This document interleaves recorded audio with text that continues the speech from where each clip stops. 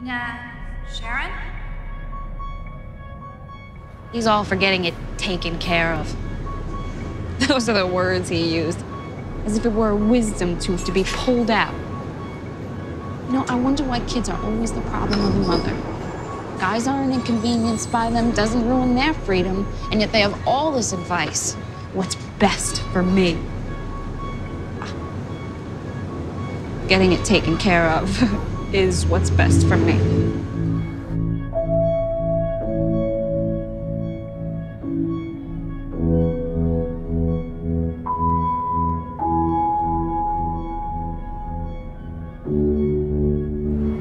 Put yourself in my shoes.